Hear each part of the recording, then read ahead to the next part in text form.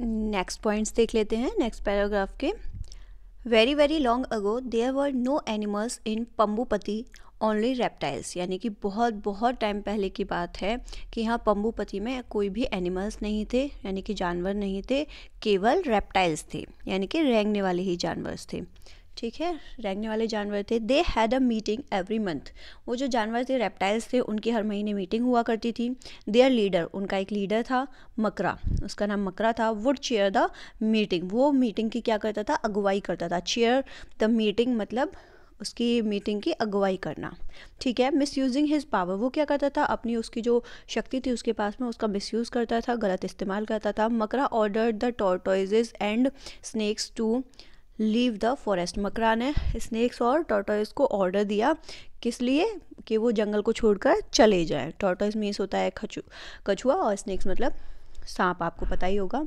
अब स्टार्ट करते हैं नेक्स्ट स्टोरी को। नेक्स्ट, हमारा जो पैराग्राफ है उसे। It happen a long long time ago यानी कि ऐसा बहुत बहुत पहले हुआ था।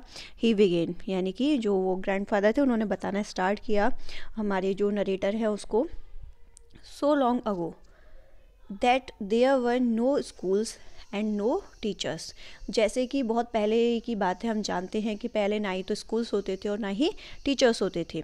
Children lived in caves with their parents जो बच्चे होते थे, उनको गुफाओं में रहना पड़ता था अपने पेरेंट्स के साथ and helped them to collect fruit and berries from the forest और वो क्या करते थे? अपने पेरेंट्स की मदद करते थे।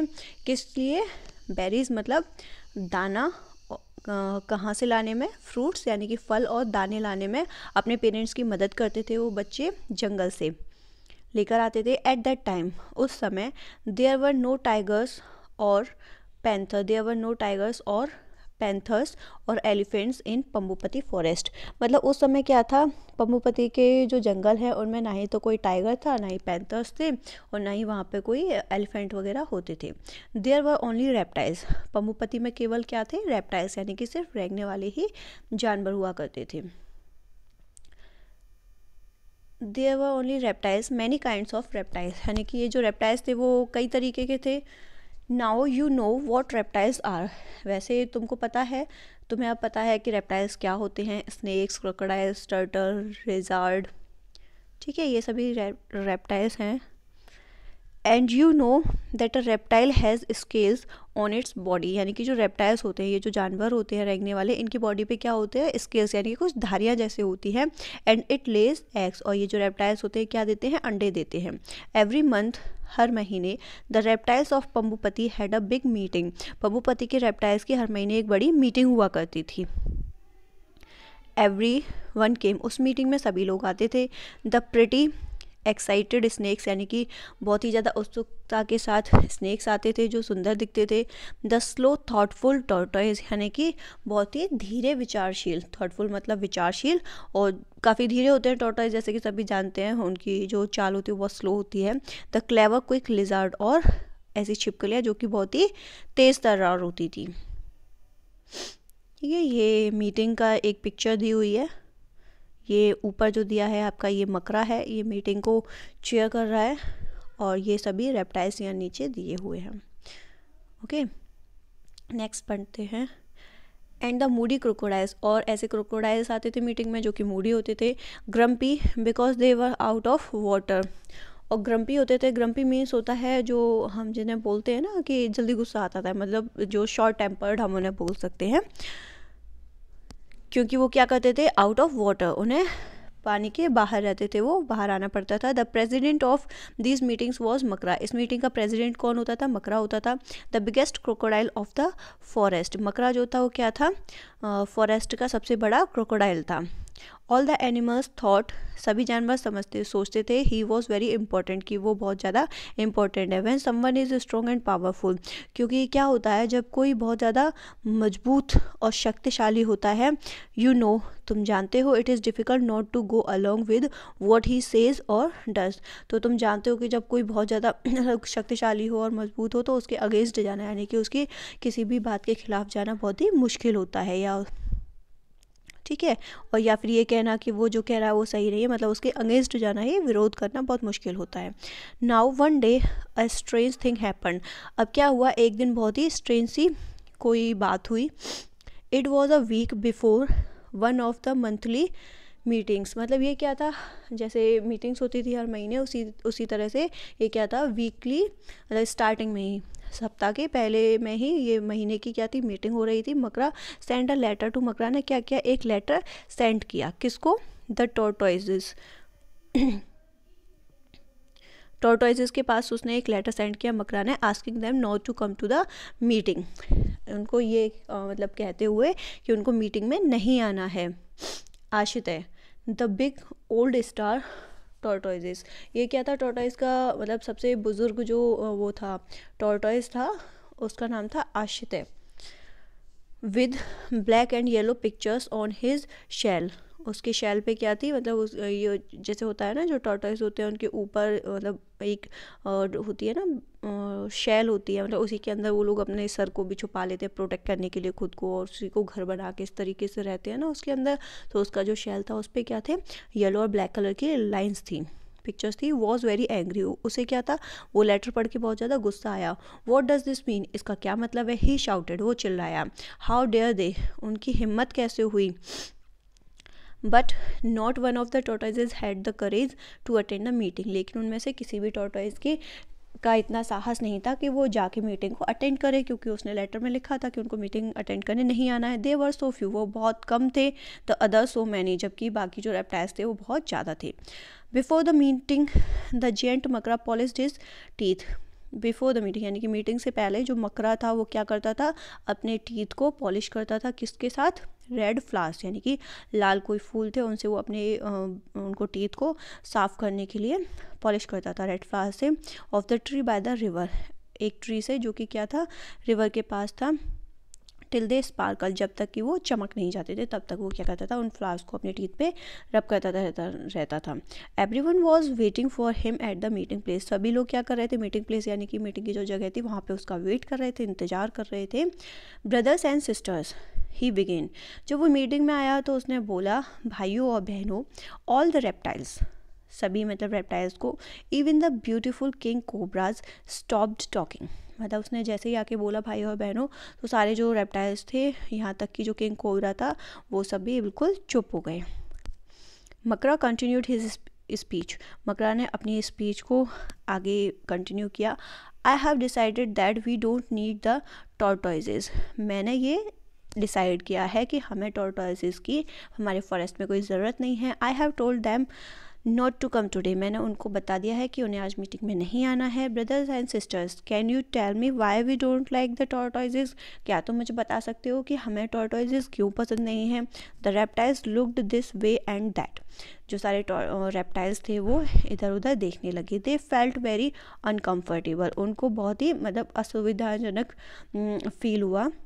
द स्नैक्स हिस्ट एंग्जियसली जो स्नैक्स थे वो मतलब एकदम वो उनकी आवाज़ होती है ना स्नैक्स का जो साउंड होता है वो हिस हिस करते हैं।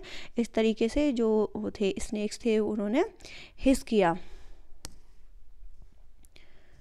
ठीक है? कहाँ पर थे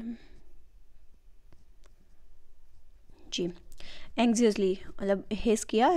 एंग्जियसली हम पहले भी पढ़ चुके हैं, चिंतित होकर। The lizards wriggled wriggled their, test जो लिजार्स थी, उन्होंने अपनी पूछ को इधर उधर हिलाया। The crocodiles open their jaws और जो क्रोकोडाइल थे, उन्होंने अपने जॉ, यानी कि अपना जो उनका मुँह होता है, उसको मतलब खोला, अपने जॉ को, अपना जो जबड़ा था, उसे खोला इवन वाइडर और ज़्यादा खोल दिया। But said one little lizard एक जो छोटी लिजार्ट थी, उसने बोला बट जैसे उसने बोला बट नो बट्स शाउटेड मकरा। कोई बट नहीं, जो मकरा था वो चिल्लाया।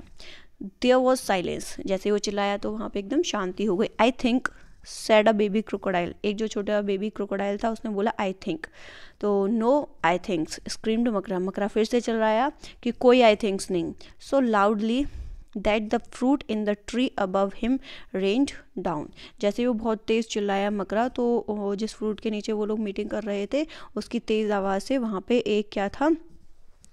उसके ऊपर से एक जो फ्रूट था, वो उसकी तेज़ आवाज़ से नीचे आकर, नीचे गिरा रेंज डाउन नीचे आके गिर गया। मतलब उसकी आवाज़ से एकदम से जैसे झंझनाहट हुई। तो जो ट्री था, जिसके नीचे वो लोग मीटिंग कर रहे थे, उसमें से एक फ्रूट नीचे टूट के गिर गया।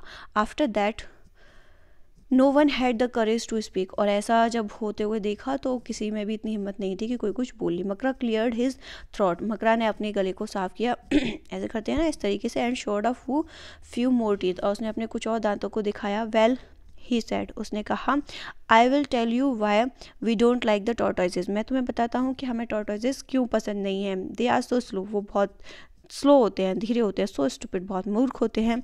They even carry their houses on their backs यहाँ तक कि वो क्या करते हैं, अपने घर को अपने बैग यानी कि अपनी पीठ पे ढोते हैं। Who ever heard of such a stupid thing ऐसी मतलब बेवकूफ़ी भरी चीज़ के बारे में किसी ने कभी सुना होगा? नाउ यू लिजार्ड्स तुम छिपकली हो यू लिव इन ट्री तुम ट्री पे रहती हो। Would you ever carry a tree on your back क्या तुम कभी किसी ट्री को अपने बैग पे कैरी करोगी? ढोकर ले जाओगी? वुड यू क्या तुम ऐसा करोगी? स्मॉल छोटी फ्राइटेंड वॉइस आंसर टुगेदर डर हुई आवाज़ में सभी ने एक साथ आंसर दिया no we would not but नहीं, हम ऐसा नहीं करेंगे, लेकिन नो बर्ड्स नाउ अब कोई बर्ड्स नहीं नाउ लिसन सुनो। I have told the tortoises that they will have to move out of Pambupati मैंने टोटोइज को बता दिया है कि उन्हें पम्बूपति से जाना है। वैन दे गो वो कब जाएँगे? We will have more of everything जब वो चले जाएँगे तो हमारे पास हर चीज़ ज़्यादा होगी। मोर फ़ूड ज़्यादा खाना होगा मोर वाटर ज़्यादा पानी होगा मोर स्पेस ज़्यादा जगह होगी। I want them out by tomorrow मैंने उन्हें बोला है कल से जाने के लिए। But because they are such slow coaches slow coaches मतलब वो बहुत ज़्यादा धीरे होते हैं ना, चलने में बहुत ही काफ़ी लेट लतीफ़ होते हैं। I have given them one week इसलिए मैंने उनको एक हफ़्ते का टाइम दिया है। बाय नेक्स्ट ट्यूसडे अगले ट्यूसडे तक we don't we want have a single tortoise single tortoise left in this jungle मतलब उसने बताया कि नेक्स्ट जो संडे आएगा, तब तक हमारे पास इसमें हमारे जंगल में एक भी टॉर्टॉइज नहीं बचेगा। And by the following Tuesday और नेक्स्ट ट्यूसडे तक दे वर ऑल गोन वो सभी चले गए। At first the animals were sad starting में तो सभी जो जानवर थे वो दुखी हुए but then they realise that लेकिन जब उन्हें रियलाइज़ हुआ what Makara has said was true कि मकरा ने जो कहा था वो सच वो सब कुछ सच था। There was more food more water मतलब उनके पास अब ज़्यादा खाना था, ज़्यादा पानी था and more space for them और उनके लिए काफ़ी जगह थी अब रहने के लिए। बट सुन लेकिन जल्दी ही strange smell began to fill the forest एक अजीब सी गंध ने, एक अजीब सी स्मेल ने उन सब पूरे जंगल को घेर लिया था। It was the smell of rot ये जो स्मेल थी, ये किसकी स्मेल थी? रॉट की स्मेल थी।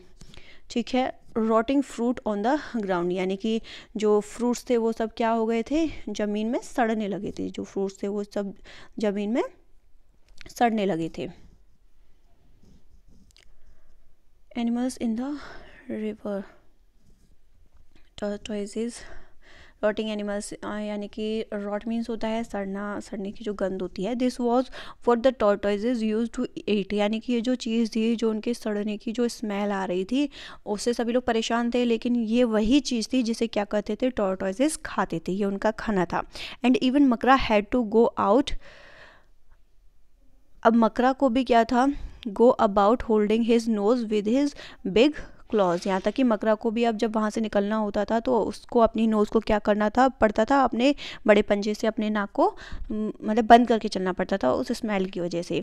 अ मंथ पास्ड बाय एक महीना निकल चुका था and then the same thing happened all over again और वही चीज़ फिर से हुई बट दिस टाइम लेकिन इस बार इट वॉज़ द स्नैक्स ये स्नैक्स की बारी थी। Makara wrote them one of his letter Makara ने उनको क्या किया? लेटर लिखा। मकरा ने उनको लेटर लिखा they were to leave the forest कि उनको भी अब जंगल छोड़ के जाना है। And since they could move fast और वो काफ़ी जल्दी चल सकते थे। They had to go in a day वो तो काफ़ी मतलब वो चलते थे स्पीड से चलते हैं। जो स्नैक्स होते हैं, इसलिए अब क्या था? उनको जाना था एक ही दिन में। Naga. The head of the snakes Naga जो था, वो क्या था? स्नेक्स का हेड था। वो क्या करता था? उसी ने लेटर को पढ़ा। प्लीडेड फॉर मोर टाइम उसने मतलब ज़्यादा समय के लिए प्लीडेड मतलब विनती की but Makara would not given लेकिन मकरा ने उनको समय नहीं दिया। एट द मीटिंग मीटिंग के समय ही साइलेंस द अदर्स उसने और लोगों को, जो बाकी सभी लोग थे मीटिंग में इन्वॉल्व थे, उन सभी को उसने शांत कर दिया। द लिजार्स एंड क्रोकोडाइल जो कि लिजार्स और क्रोकोडाइल्स ही बचे थे। विद इवन लाउडर शाउट्स यहाँ तक कि बहुत तेज़ी से चिल्लाकर एंड थ्रेड्स और उनको धमकी ही दी। स्नैक्स आर स्लिमी स्नैक्स जो होते हैं, वो कैसे होते हैं? स्लिमी यानी कि घिनौने होते हैं। उसने कहा कि जो स्नैक्स होते हैं काफ़ी घिनौने होते हैं। स्लिमी मीन्स घिनौने। ही सेड उसने कहा and they make funny noises और वो अजीब तरीके की आवाज़ें निकालते हैं। Who want such weird creatures around कौन चाहेगा कि ऐसे भद्दे जो क्रिएचर यानी कि जो जीव होते हैं वो हमारे आसपास हो? अगेन दोबारा no one dare to disagree with Makara. किसी की भी हिम्मत नहीं हुई मकरा से मतलब उसकी अगेंस्ट जाने की, उसे डिसएग्री होने की। And so the snakes left तो इसलिए फिर क्या हुआ? जो स्नेक्स थे वो भी वहाँ से चले गए। फॉर अ वाइल कुछ समय के लिए the animals of the forest were happy जो जानवर थे जंगल के, वो खुश खुश हुए because they had been a little afraid of the क्योंकि वो क्या करते थे? उन्हें थोड़ा बहुत डर लगता था। किससे डर लगता था? उनको स्नेक से। क्यों? You never knew when one of them might lose his temper क्योंकि तुम नहीं जान सकते हो कि उनमें से कब के कौन अपना टेम्पर लूज़ कर दे, यानी कि कब किसको गुस्सा आ जाए and spit some venom at you और तुम्हारे ऊपर को पॉइजन थ्रो कर दे। वेनोम मतलब होता है पॉइजन जो जहर होता है। ठीक है? Out of them sorry at you and it took only a little poison to kill you after all और ये केवल तुम्हारे लिए थोड़ा सा पॉइजन काफ़ी था तुम्हें मारने के लिए। ओके सो ये पैराग्राफ भी आपका कंप्लीट हुआ। ये नेक्स्ट पैराग्राफ के आपके पॉइंट्स हैं।